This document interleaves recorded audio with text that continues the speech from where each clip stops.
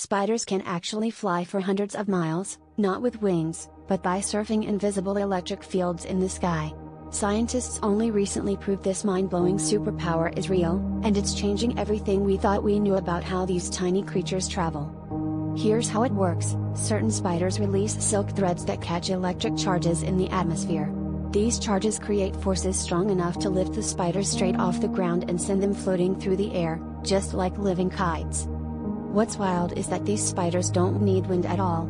Even on a totally still day, the electric forces alone are powerful enough to launch them from fields, treetops, or even your backyard, turning the sky into a secret superhighway.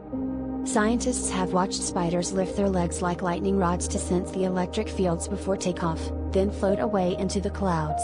This phenomenon is called ballooning, and it means the next time you see a spider, you might be looking at a tiny pilot ready to ride the currents of the invisible world above us.